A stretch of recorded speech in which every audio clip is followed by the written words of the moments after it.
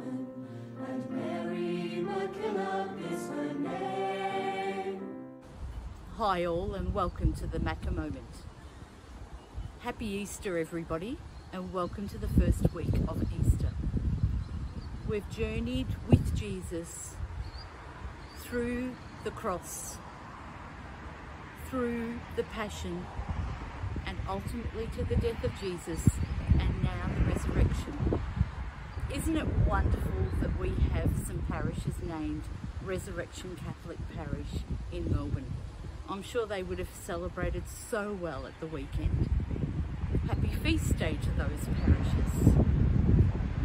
I wonder if Mary MacKillop, how she journeyed with the cross. The cross was her name in religious life and it was all about for her learning how to live with the cross in her life.